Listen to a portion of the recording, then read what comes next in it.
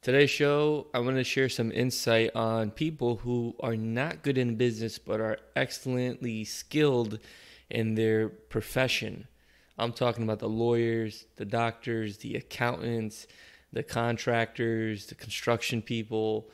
Everyone has a unique profession skill they're very good at. They went to school for, they got their degrees, they're amazing at it. But when it comes to business, forget it. They don't know from up and down, down and up. They have no idea. And even if they do have a slight idea, they're very naive about it. They believe and trust everything that they see online, anything they hear from their people and their networks. So, how do you overcome this challenge when you are not the most intelligent when it comes to your business and you're really skilled in your profession? Well, one thing I can tell you for sure is to get a mentor and do professional consultations because you cannot take on years and years of experience uh, in a short span of time, especially if it's, you're in a critical stage right now and you're trying to grow your company, grow your business, and you're really more involved in the day to day operating activities, working with your clients, working on your cases, working with your patients, whatever it may be. So, the first thing is you want to get a mentor or a consultant to help you understand, do an audit and assessment with you alongside you as a partner. And that's something that I do at technerds.com. I actually work directly with you as a partner. I really kind of get involved, opening up the hood, looking at the layer by layer, and then understanding what's on the surface level and understanding what's at your goal and vision level. And from there, I work with my team to bridge the gap bridging the gap on what's needed to be done on a business level, on a technology level, on how to get more customers, how to make your operating uh, daily operating activities more efficient, how to improve efficiencies, how to bring down expenses. And all of this kind of plugs into multiple different avenues. It comes from your actual software in your offices, your standard operating procedures in your offices, and really the technology and tools you use to get more customers and manage things.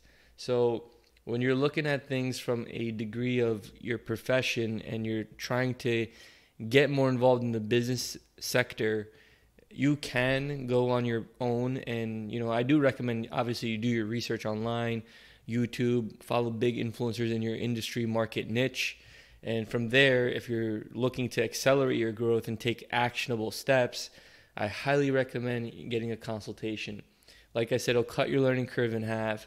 Uh, it's not reinventing the wheels. People who already are experienced in knowing what they're doing, and more of just like aligning your vision and goals and putting in the right pieces to the puzzle to create that full frame, that picture on exactly what you want.